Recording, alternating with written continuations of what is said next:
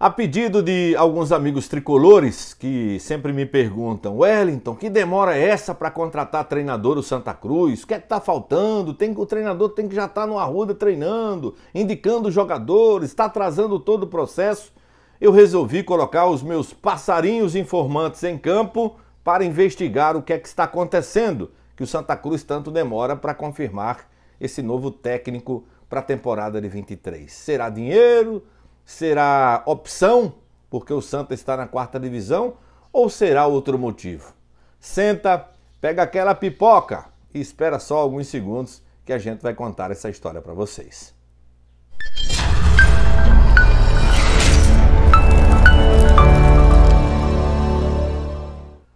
Oi, gente, chegamos com mais um vídeo aqui no nosso canal WA Repórter 100. Muito obrigado pela companhia. Espero passar um bom conteúdo para todos vocês. Pedindo para quem não é inscrito para se inscrever no nosso canal, pedindo para você sempre deixar o like. Esse like é fundamental para o crescimento do nosso canal. E se você gostar do nosso conteúdo, dos nossos vídeos, eu peço que vocês compartilhem o nosso conteúdo. O tema é esse, o tema é aquele. Passa nos grupos de Zap Zap para toda a rapaziada, para que tomem conhecimento que existe, lógico, o nosso canal. É assim que funciona. E se você for fiel mesmo, daquele que gosta do nosso trabalho, dos nossos vídeos, do nosso conteúdo, aperta o sininho, porque o YouTube vai te notificar quando tiver vídeo novo no nosso canal. E aqui você sabe, vídeo novo tem todo santo dia. É esporte, é náutico, é santa, é a bagunça, é, ou não é a bagunça. No futebol de Pernambuco tem de tudo, não é? inclusive o Galetão, Galetão, o campeonato Galetão aqui de Pernambuco. Bom, gente, muitos tricolores me perguntaram o porquê da demora do Santa anunciar treinador. E aí eu resolvi investigar, porque é uma coisa óbvia, né, gente? Se você não anuncia o treinador, como é que você vai contratar jogador? Santa que vai começar a trabalhar agora na segunda quinzena de novembro. Santa Cruz que já tem futebol no início de janeiro, na pré-copa do Nordeste. Então, uma coisa depende da outra. Contrata logo o técnico para que possa contratar jogadores, para que possa ir treinando, para que possa realizar amistosos, para que possa entrosar o time.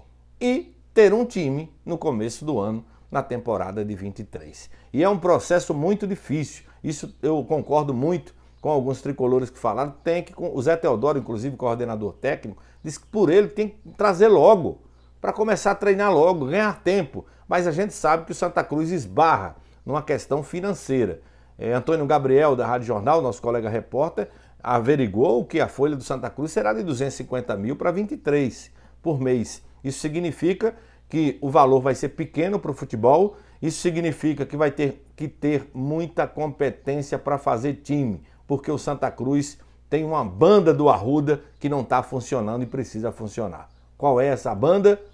É a banda das divisões de base. Se você tem uma folha só para gastar 250 mil e já tem pelo menos uns 6 a 8 jogadores da casa para integrar ao profissional, é uma coisa. Agora, quando você não tem nada, é muito difícil. É muito difícil. Eu temo muito é, pelo Santa Cruz por fazer um time tão barato e geralmente, quando se reformula tudo, quando se faz tudo de novo, existem tropeços. E quando existem tropeços, os resultados não chegam. E quando os resultados não chegam, a torcida pega no pé e volta tudo do zero novamente. Contrata, deve, não paga e aquela história toda que vocês conhecem. Mas o tema do vídeo de hoje eu vou falar para vocês agora.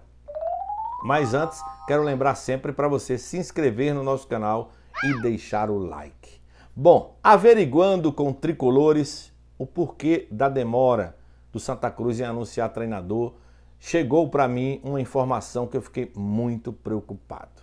E aí, quando eu recebi essa informação, eu chequei com várias alas do Santa Cruz, chequei com muitos amigos empresários também, que geralmente oferecem e é, treinadores ou jogadores, ou seja, eu fui em dois mercados diferentes. Um mercado de tricolores, dirigentes, ex-dirigentes, e fui também no procurar muitos amigos empresários para entender qual é a dificuldade do Santa Cruz. Porque no meu entendimento, no meu entendimento, eu achava o seguinte, e, e, e achava até antes dessa informação que eu recebi, que o Santa Cruz estava demorando para contratar treinador porque ninguém queria vir para a Série D do futebol dentro do patamar de nomes que o Santa Cruz quer. Porque o ninguém queria, entre aspas, né? Tem meio mundo de treinador aí que quer trabalhar no Santa Cruz.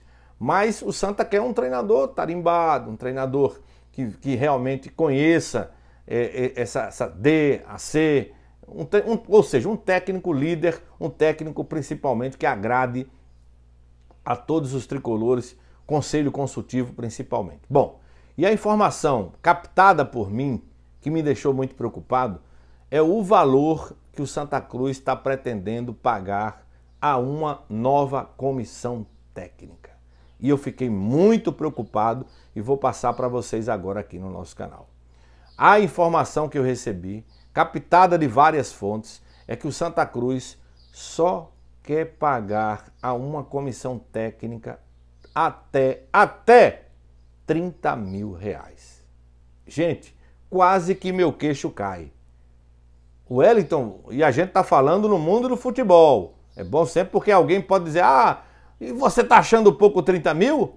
Gente, no futebol, 30 mil é isso aqui, comparando com o mercado. Se você quer um técnico que chegue, bote moral, tenha nome, conhecimento, que jogue o Santa Cruz lá para cima, 30 mil não dá, gente. 30 mil para comissão técnica, não é para o treinador, não. Treinador vem sempre com auxiliar técnico, talvez com um preparador físico. Vamos supor que só venha o técnico e o assistente do técnico. Assistente de técnico de futebol hoje não ganha 5 mil mais não, meu amigo, é de 10 mil para cima. Então um técnico vem trabalhar no Santa Cruz, numa quarta divisão, com a responsabilidade do tamanho do Arruda para ganhar 20 mil por mês? É porque a conta que eu faço é se, se, a, se a comissão técnica toda é para 30 mil reais, vai ser difícil Santa Cruz achar treinador. Eu acho que nem esse Raniel aí topa. Santa Cruz é um clube gigante. Muitos dirigentes revelam essa frase famosa aqui no futebol de Pernambuco. Homero é um deles. É melhor um técnico bom com um time mediano que um time bom com um técnico mediano.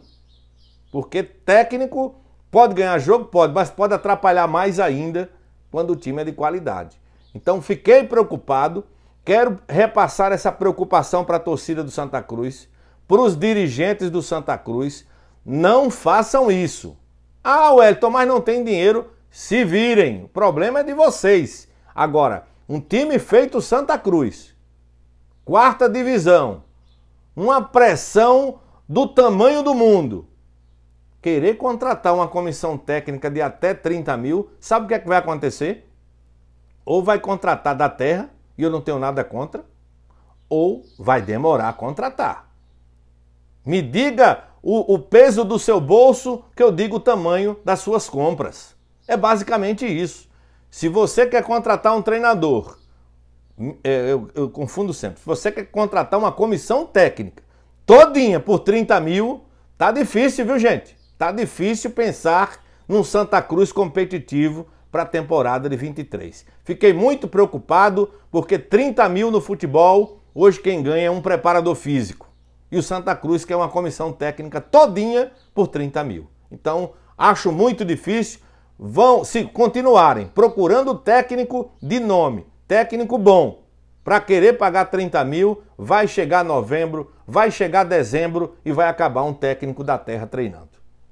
E não tá difícil não, viu? Nesse preço aí, tem bons treinadores da capital pernambucana, da região, aceitariam treinar o Santa Cruz. Aceitariam treinar o Santa Cruz por esse valor aí de 30 mil que eu fui informado, fiquei sabendo, 30 mil reais para toda a comissão técnica para o futebol, isso aí é um tiro no pé. Essa é a minha opinião e eu quero saber a opinião de vocês. Vocês concordam que 30 mil para comissão técnica, Santa Cruz vai ter dificuldade para achar treinador? Ou acha que vai com facilidade achar treinador? Quero ler a sua opinião aqui no nosso canal WA Repórter 100. Pedindo para vocês deixarem um like, compartilharem o nosso canal, o nosso vídeo.